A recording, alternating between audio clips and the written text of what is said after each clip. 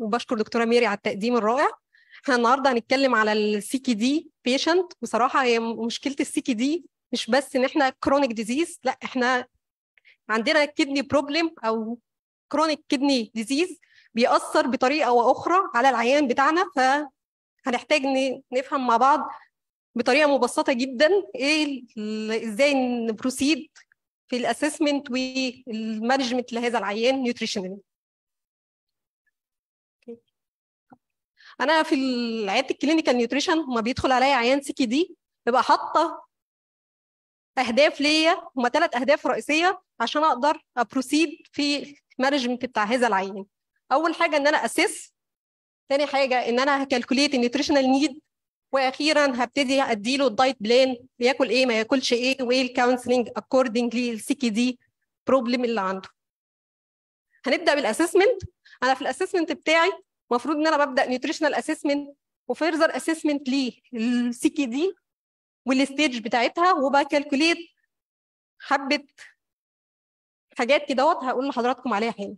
نبدا في ال nutritional assessment ببدا بال growth parameter اللي هم ال weight طبعا في عيان ال CKD بيبقى dry weight وال height وال BMI وبعد كده بنبتدي نعمل dietary assessment اللي هو ال current intake وإيه أخبار ال appetite وهل في barrier لل intake بتاع العيان ده بعد كده ببتدي في ال further assessment medical management activity level و GIT symptom هل موجودة ولا لأ؟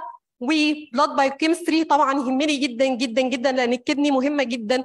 في ال electrolyte homeostasis وفي electrolyte كتير بتتأثر في عيانين ال CKD فمهم ال blood biochemistry وببتدي أ calculate ال GFR اللي هحسب على أساسه ال CKD stage وأخيرا ال urine output طيب بعد ما خلصت مرحلة ال assessment بتاعتي ببتدي ا calculate ال nutritional need بتاعت العيان ده هو.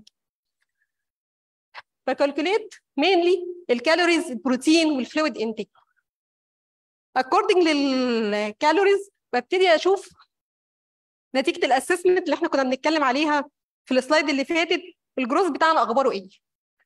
هل أنا suboptimal growth ساعتها ه adjust ال energy intake بتاعي أو ال caloric intake إن أنا أديله أعلى من اللي الطفل العادي محتاجه. اللي هو بنديله على ال higher end of suggested dietary intake إيه قصة ال suggested dietary intake ال suggested dietary intake ببساطة إن ال renal nutrition ال pediatric renal nutrition task force دي مجموعة من ال dietitian وال physician في كذا دولة ابتدوا يجمعوا guidelines وال guidelines دي جمعت according للدراسات السابقة و according للموجود في ال literature العيان ده هو اللي عنده CKD according لل stage بتاعه according لل age بتاعه محتاج caloric intake lower end و higher end فاحنا لو إحنا العيان بتاعنا suboptimal فأنا هبتدي أدي على ال higher end أو adjust ال energy إن أنا أزود ال energy بتاعي. تمام.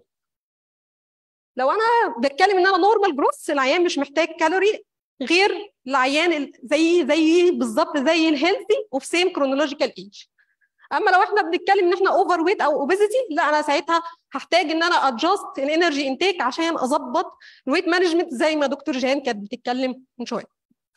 طيب تاني سؤال بسأله هو العيان ده على dialysis yes or no if no okay لو لأ مش على dialysis هبتدي أشوف هو العيان ده هو الجروس أخباره إيه؟ لو إحنا suboptimal growth يبقى أنا هدي higher protein على ال higher end of suggested dietary intake طب لو أنا لأ بالعكس أنا ال CKD stage بتاعتي بقت CKD stage من 3 ل 5 ونبتدي ابتديت اليوريا بتاعتي لأ على طول resistant ل high لأ ساعتها أنا هدي على ال lower end ه adjust البروتين بتاعي إن أنا أدي على ال lower end من ال suggested dietary intake طيب جميل. لو العيان بي dialyze yes الإجابة yes هو على dialysis هل مهم البروتين هيتغير؟ آه هيتغير لأن أنا ساعتها هحتاج إن أنا compensate ال dialytic losses بتاعته. وهل ده هيفرق العيان ده على peritoneal dialysis ولا على hemodialysis؟ yes هوري حضراتكم دلوقتي ده الجدول KDOQI guidelines ال protein intake لعيانين ال CKD stage حضراتكم لو هتلاحظوا في آخر الجدول هنلاقي فيه إن إحنا العيان اللي على dialysis لازم ت compensate ال dialytic ال dialytic losses وإن في عيان لو هو على peritoneal dialysis هيحتاج إن إحنا ن compensate أكتر من لو هو عنده على hemodialysis طيب تمام. طب إيه أخبار ال urine output بتاع العيان بتاعي؟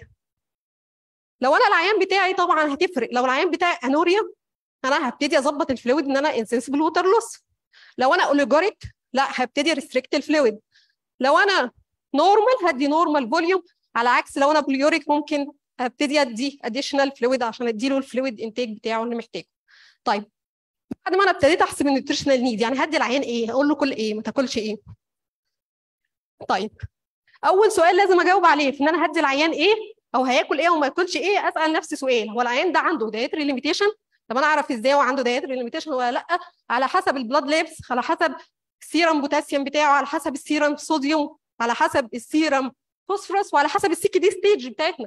فاحنا مثلا في العيان ده هو لو ما عندوش dietary limitation وده غالبا هيبقى عيان CKD stage 1 أو 2 ساعتها العيان ده هقول له كل كل حاجة healthy balanced diet وخد ال wide variety of ال food choices ما عنديش أي limitation دي طيب لو العيان ده لا أنا عندي limitation limitation in form of إيه؟ لو أنا بتكلم إن أنا high potassium أو أنا عندي hyperkalemia وأنا في CKD stage متقدمة ساعتها هنقول له إن إحنا ناخد ال alternative lower potassium food طبعا كلنا عارفين إن البطاطس وال banana من أكتر حاجات فيهم بوتاسيوم بس إحنا في ال guidelines بتاعتنا إن إحنا طريقة التحضير نفسها ممكن تقلل ال potassium content زي إن إحنا نقول للأم ابتدي قطعي قشري البطاطس قطعي حتت صغيرة نغليها في كمية كبيرة من المية ن discard المية اللي إحنا غلينا فيها وبعد كده نبتدي نستخدم البطاطس في مية جديدة ده بيقلل ال potassium content لحاجة زي البطاطس.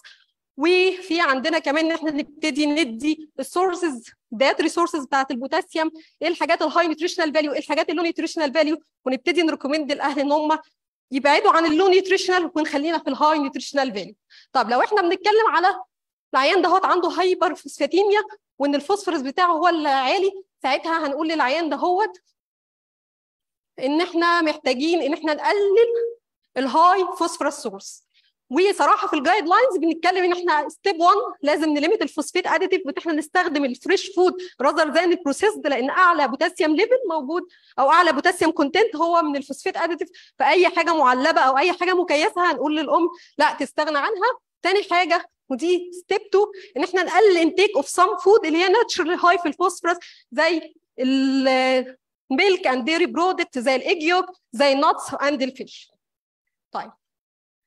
تاني سؤال. لازم أسأله لنفسي لا أنا اديت للعيان ال plan بتاعتي. هل ال dietary intake بتاعه adequate الدنيا كويسة؟